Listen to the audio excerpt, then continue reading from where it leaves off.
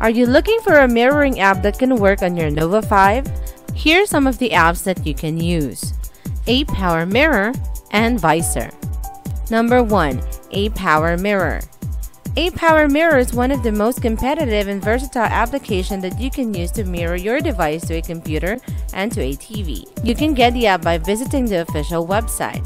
You can either connect via USB cable or connect your devices under the same Wi-Fi network to connect wirelessly.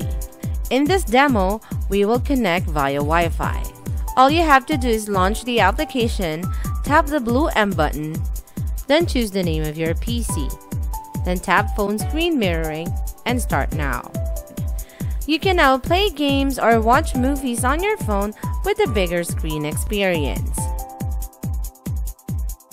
To disconnect, just go back to the app and click the yellow button. Number 2. Vysor. This may sound a little familiar to you because it's one of the most popular free apps that you can use. To get the app, just visit the official website showing on the screen.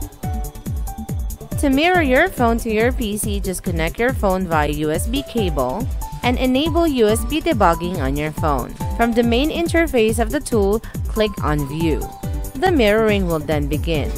Although this app is not as excellent as ApowerMirror, it is considered still a good alternative because it's for free.